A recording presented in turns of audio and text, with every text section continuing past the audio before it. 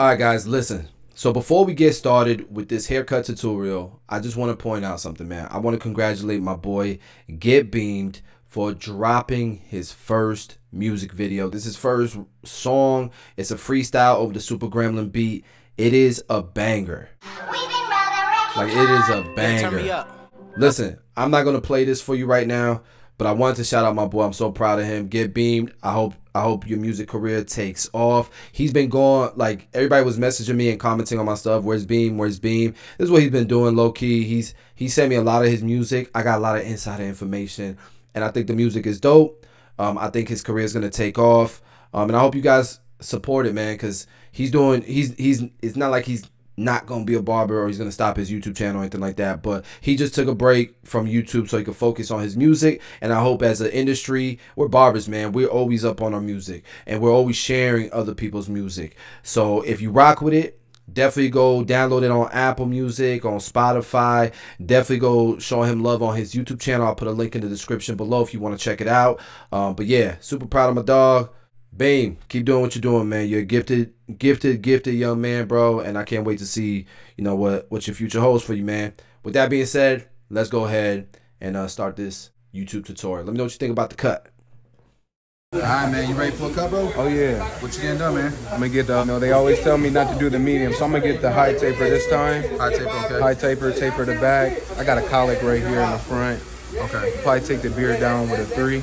Taper the beard. And taper the beard in? Yep. All right, cool. Are you taking anything off the top? Yeah, we're gonna do a, a three close. A three close? Against the right, grain. man. Let's. I'm gonna try out these new, uh, the new Wahl Legends. Um, I don't even think they're out yet, but I'm gonna try them out. See how they how they move.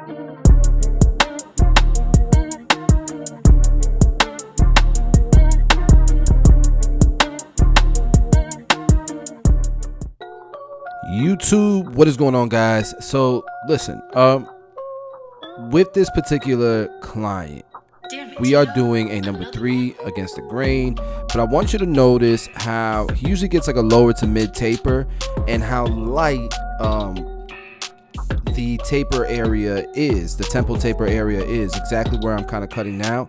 It's it's like naturally lighter in that area. And that's a common thing. Um and so when we do this high taper you know, we're gonna have to keep that into consideration. So that's one of the things that I'm looking at as I'm cutting his hair. I'm also looking at all the crazy different hair growth patterns and you know how how much darker kind of like the middle of his hairline is compared to his corners. That's another thing that's common as well. Um, and then you can just kind of see the scalp a little bit so i'm i'm combing as much as i you know as i can as i'm cutting a lot of the combing gets cut out with the editing but um you know he's got cowlicks everywhere. You got to make sure you're cutting in all kinds of different directions. So we're going to start this taper out um, balding out this bottom line um, creating our initial guideline. And we're going to follow it up with a shaver. And today we're going to check try out these Wahl Legends it's all the way open and then we're going to go to being closed and opening it little by little as we go up. Now all the way open with this clipper is supposed to be a little bit longer. I didn't notice that much of a difference which i'm actually glad um, that it's not too much of a stretch um, because then it throws off my whole system. Um, and so uh, we're, while we're here we'll go ahead and start fading in the beard. He kind of had like a um, like a ice pick almost into the temple so it didn't take much to fade out. So next step we're gonna do is the one and a half guard. It's all the way closed. And right beneath that we're gonna jump straight to the half guard. So the half guard's all the way open and then we're closing it little by little as we go down. And um, we'll probably need to take that half guard off to finish the taper but maybe not because this is a stretch blade right? A stretch bracket it opens up more. And it didn't look like we needed to. So that half guard kind of just blended right into the blade all the way open you notice that I, I didn't really need to take off the guard and use the corners like I'm doing right now but I did because I, I try to be as detailed as I possibly can. So at this point we're using the number two guard. We started off open then close. We'll probably have to from there we'll start to blend down um, to kind of finish off this blend. Get the get the gradient stretched however I need to um, and so you guys can kind of see I, I went down to that one half guard. Now I'm back to using the corners of my half guard and especially here behind the ear you can hear you can see not here but you can see how the hair growth pattern is growing backwards, like towards the direction of the back of his neck area. So you got to keep that in consideration in the taper. So now we're here, we're um, tapering out the back, the, the neck taper, and you can see again, just like kind of like his uh, taper area where his temples are, it was a little bit lighter. In this area, it's lighter as well. Crazy hair growth patterns. You know, this was an intimidating taper back here. Um, but so what I decided to do was just blend down and take what his hair gives me. You know what I mean? Um, I kind of hopped back there just to uh, hit hit something that I saw probably, but I'm just giving taking taking what the tape is giving me, right? So I'm I'm not going through all my steps because with this type of canvas, you just gotta kind of um, be able to almost sculpt the final look that you're going for. There's really no uh, system that's gonna help you with this type of fade. You just gotta kind of um, create what your eye, what you want your eyes to see. Um, and so essentially, I'm hopping back and forth, different guards, um, really using a lot of corners in darker areas, not touching areas that are just naturally lighter um, until I get the gradients that I'm looking for. It's really hard to teach that you know, through words to translate it. Um, so I, I apologize for that, but that's really the best explanation I can give for what I did on that neck taper there. And a lot of times it takes less time to do that, do tapers with with with canvases like that, just because you don't have to cut everything.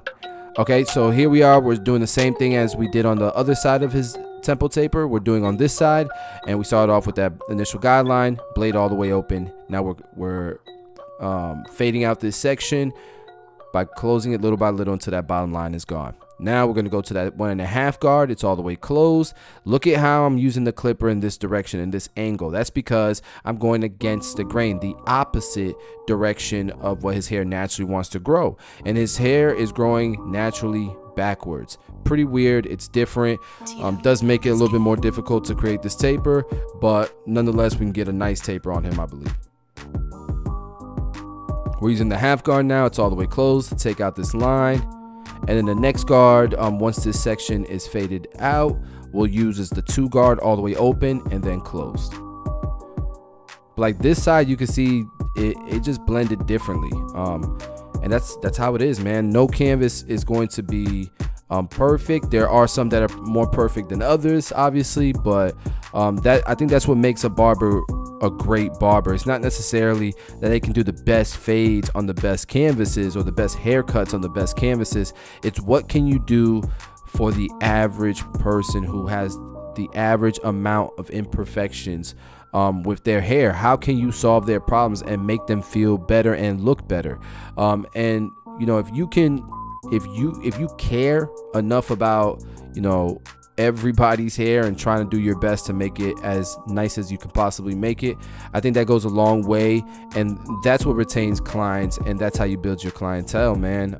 You know, um, sure, not every canvas is going to get the most beautiful haircut that you can post on Instagram, but you know, you can make somebody feel like a million bucks because you took your time, you cared enough and uh most people, believe it or not, most people go a long time, almost a lifetime, finding a barber um, that has that mindset or that attitude. And it's crazy to say that, but um, you know, success leaves clues.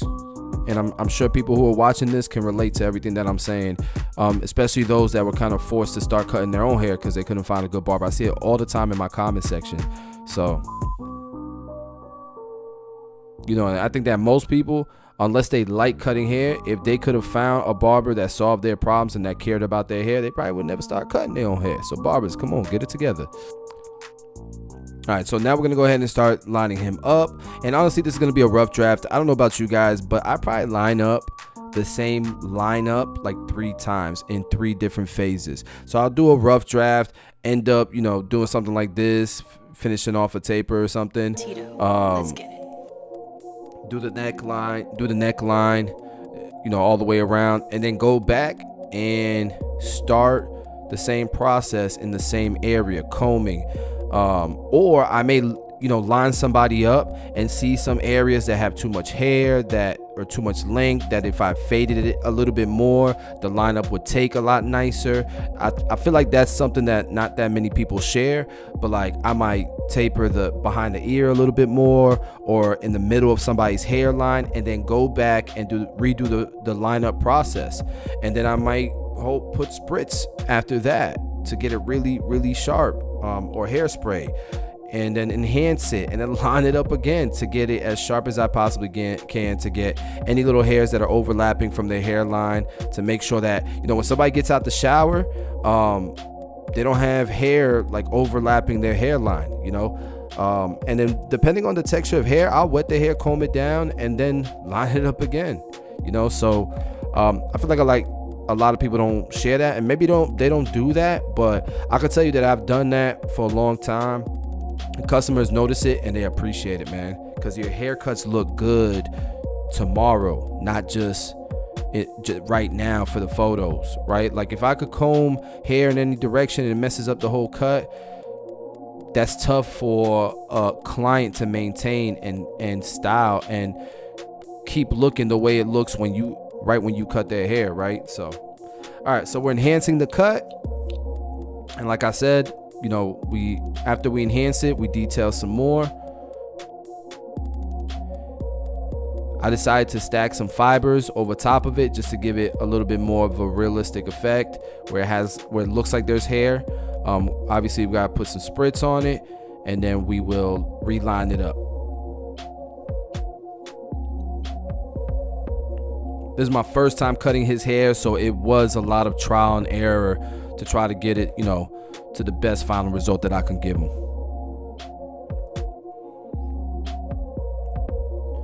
Almost every single client that you see in my YouTube videos, almost I would say like 95% of them are first time clients. So keep that in mind. I actually like it that way. I feel like there's more learning.